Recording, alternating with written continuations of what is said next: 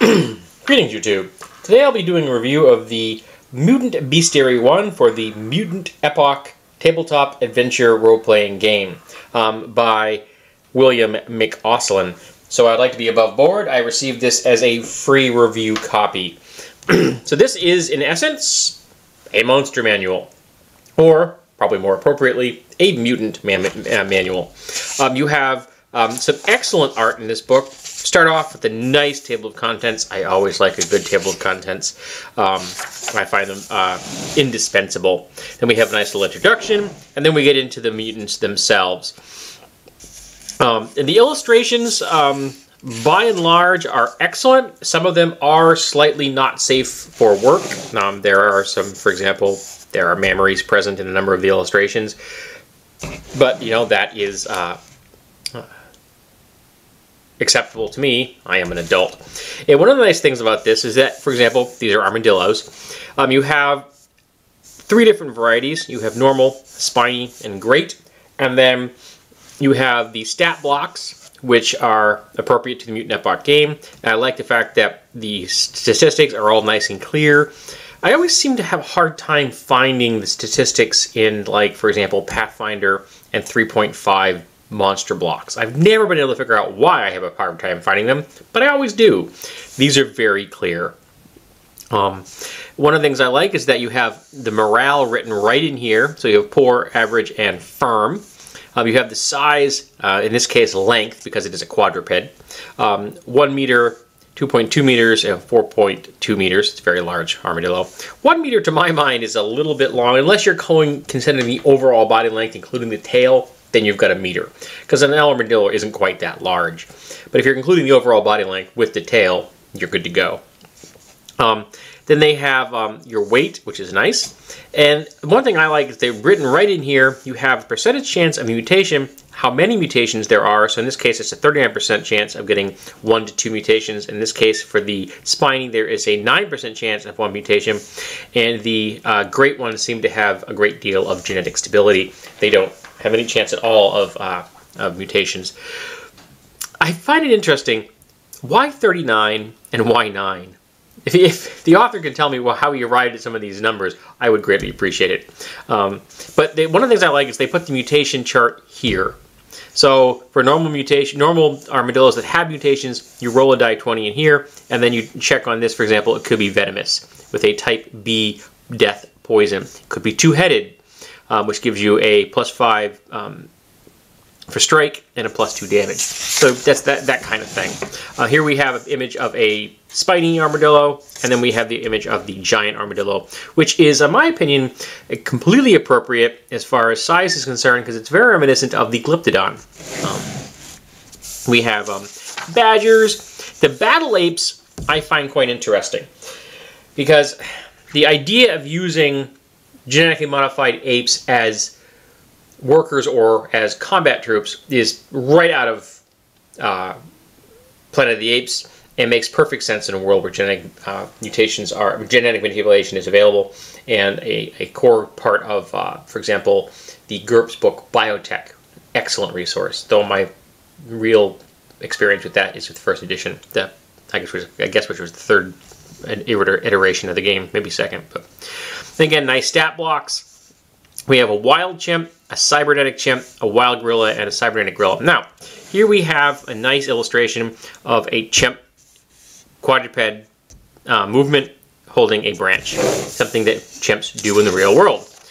Then we have, they talk about the different kind of mutations they can get in here, and they talk about how, which kind of um, cybernetics these things have if they are being produced by uh, um, enclaves that have that ability. Here we have another nice illustration of a mutant gorilla, uh, and again in a nice quadruped stance. Now here we have the first illustration that I was scratching my head a little bit because chimps and gorillas are knuckle walkers. There's there's no knuckle here. Now I'm not saying that chimps and gorillas that have been in South America cybernetically enhanced for combat shouldn't have built-in weapons. They should I think it's cool, but they should be built on top of or under or inside an arm. There needs to be a hand here because they're knuckle walkers. Another example of the same problem is here again, they're knuckle walkers. That animal has now been crippled because it can't walk on its knuckles. Nice illustration, don't get me wrong, that's beautiful artwork. Kudos, but I did question that. Um, then we have beavers. My wife found the tusked beaver illustration quite humorous. Um, then we have some uh, just a weird mutations, like this creature obviously designed at some point by somebody to have like human brains running this battle droid essentially, but it's just purely organic. Um, and we have some freaky mutations that are it's more tail than uh, than, than, than humanoid now, very reminiscent of a Naga. Um, a bog lurker, um, big chitinous vicious creature. The brain hound covered in eyes, which was very twisted. Um, uh, a bug crit, genetically engineered insects that have gone very wrong.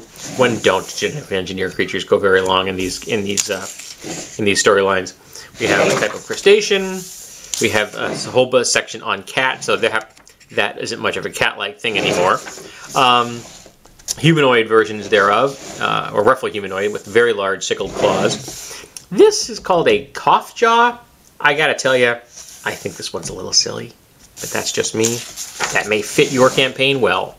Um, Creeping Impaler, that's a nice name. Uh, Crimson Slinker, a whole section on crustaceans, and crustaceans are good. Crustaceans have natural armor, and because they have a short life cycle, it makes sense that they are highly mutated, and there should be multiple varieties therein. Um, we have a Desi roller, which made me think of a beholder. I thought that was kind of cool. Um, then we have um, a Deepkin, which is a variety of, uh, of, of, human. Um, then we have a species of deer, and again, deer have short lifespan. There are many species in North America. It makes sense that there's more than a, a number of different stat blocks to play with. Um, and that's a nice mutant version thereof. It's kind of cool.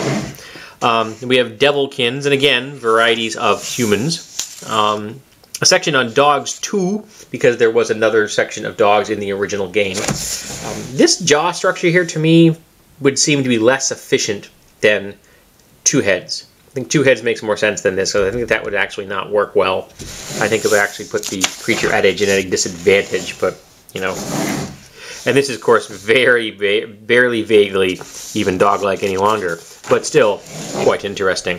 I like the jaw structure on that one. It was a Domogoth. I like the jaw structure, jaw structure on that one.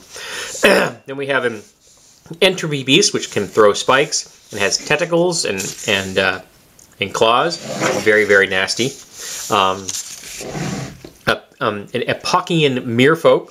So we have a, mermaid versions of, of, of, humanoids in the in the world. We have a fetid Oltuk. That's not pleasant looking. Uh, we have an aquatic creature, which I gotta tell you, it, it looks a little silly to me. but sometimes things don't look as menacing as you might think they, they should. Here we have jelloids. So you have these like almost single, giant single-celled creatures, and this came, reminded me of stuff right out of 1950s era science fiction movies.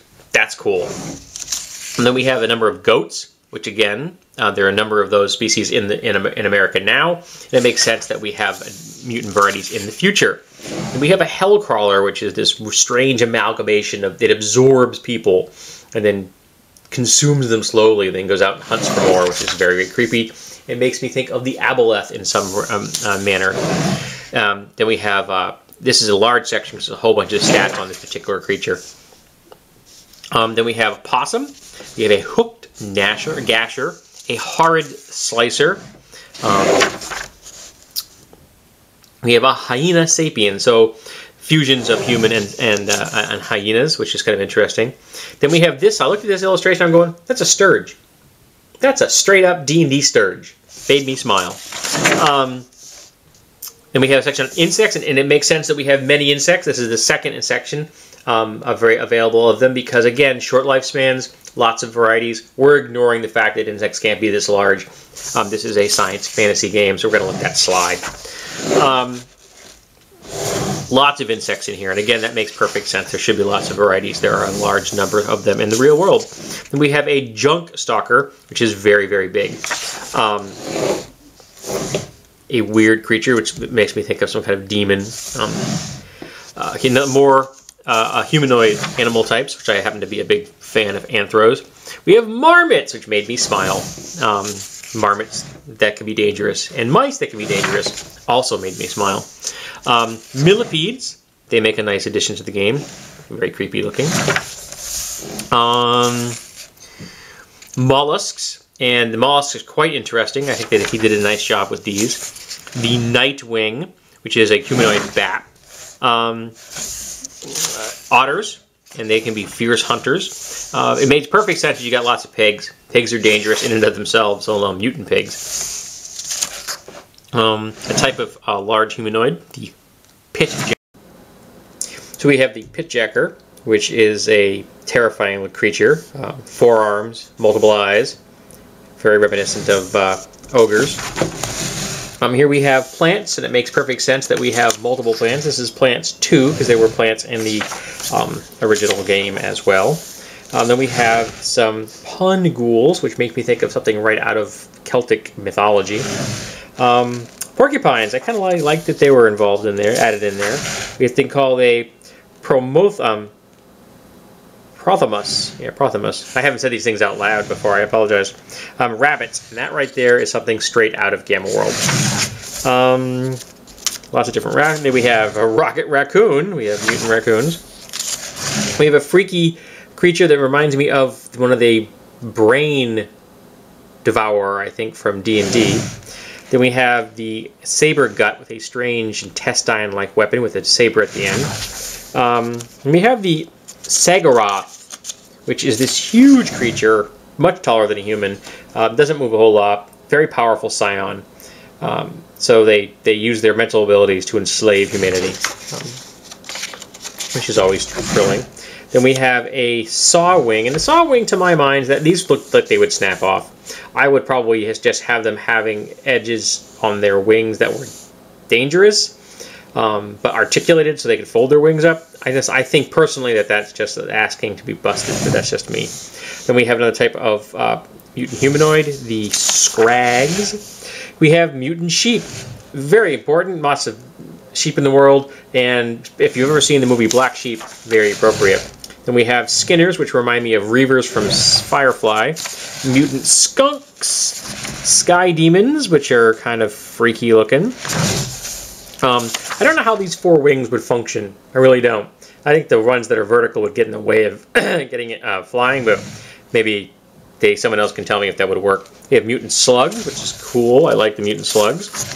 We have a snagger, which looks like just like death on two legs, or technically four legs, I guess. Um, snails, which was very reminiscent of the classic giant snail, flail snail from uh, from D&D. Um, that's Fiend Folio, I believe. Um, then we have uh, the Soul Leech, which is a Lovecraftian horror if there ever was one. Um, the Spike Blade Mutant Squirrels, which is cool to see mutant squirrels being dangerous. And we have a creature that, for no other way of putting this, has a penis which fires rocks. That's just a little twisted. And we have a tail, a tall clipper, which is again more makes me think of uh, demonic creatures. Uh, then we have uh, terrafins, which are essentially land sharks. I mean, they're fish, but not, not sharks, but they're based on trouts, I believe. Um, tree squid, and my wife loved this illustration. She thought this illustration was just wonderful, and I have to agree with her. Very, very creepy, and uh, just excellently, maybe the best illustration in, in the entire book. Um, then we have turtles, which is nice, because turtles are cool. They're very dangerous. I've used them before. And mutant turtles, which I love the anthros. There's a very large turtle reminiscent of a dragon turtle. Um, here we have the Underfoot, a race of uh, mutant humans that would like to think of themselves as the next stage in our evolution. And they're willing to wipe us out to prove it. Um, then we have the Walking Hook Fiends. Um, the Waste Stalker, which is strange double-clawed kind of jaw-like things on its, on its arms weasels, which are dangerous, and larger ones would be more so. We have a weasel hydra. I think there was a giant weasel in Horse Clan. Someone can tell me if I'm correct in that belief or not. We have mutant whales, mutant Dalton, dolphins, mutant whales, and mutant baleen whales. Uh, sorry, mutant killer whales. We have killer whales and baleen whales, which could also be used just for large whales. Um, another race of anthros, the wolfer. and a dog-like variety thereof. Um, Wolverines, which is cool because they're dangerous. Um, we have another freaky looking creature here known as the Zalsh Mal or Mai. I can't quite tell. I'm in a hurry. Sorry. Um, lots of mutations, lots of abilities. They're quite dangerous. And this creature reminds me of something out of a video game I saw recently. I can't remember when I saw a playthrough on D&D uh, on, on YouTube, and it just it reminded me of it. But I like the illustration. It's uh, very creepy. And then, we, of course, we have a, uh, a wonderful selection of encounter charts and then some ads at the end. So, I consider this to be a must-have if you are a person that owns the Mutant Epoch game and are a fan of the of that system. I also think it has a great deal of utility if you were just going to run a post-apocalyptic game, um, because I think that this would give you lots of inspiration. Does it have any problems? Well, it is kind of grim dark there is a lot of slavery of the generic variety and of the sexual slavery variety in this book. I think that it would have been better off if they had implied some of these things as opposed to being explicit about them, the fact that these things actually exist. There's also a slant for the fact that if you're not attractive, you get eaten, and if you're attractive, you get kept as a sex slave. And to my mind, that's a little problematic. Um, I think that is, is talking about some appearance issues and things, which I don't necessarily know if I want to see in a game I'm running. But that's just me. These are things I can gloss over. These are things I don't need to uh, need to worry about. I can just ignore them. But some people may feel because it's in the book that they should in, in, intentionally include it. I think you definitely should look at this and decide: Do I want to have these rather grimdark um, aspects in it, or do I want to have um, dial that back down and try to have some more normalized relations between some of these creatures and the human survivors of the world, the mutant survivors of the world. Um, another thing is there's a lot of apex hunters in here, a lot of apex predators. There's no way you could have all these creatures in one environment. You would have to spread them out and have them definitely be over a large area because there just isn't enough animal mass on the continent to have this many apex predators in one tight location. So you're going to have to spread them out. There's no way you're getting around that. So you could like base your campaign over around one or two of them, and, and if the player characters moved to a new area, then you could introduce more of these creatures. But I don't see any way you could put these all in one area. There's just too many of them, and many of them are consumers of humanoids. Um, but it's an excellent book, incredible artwork. Just that tree squid, I think, is the best in the book. Um, and uh, definitely something that I think every person that loves a good uh, post-apocalyptic setting is going to love.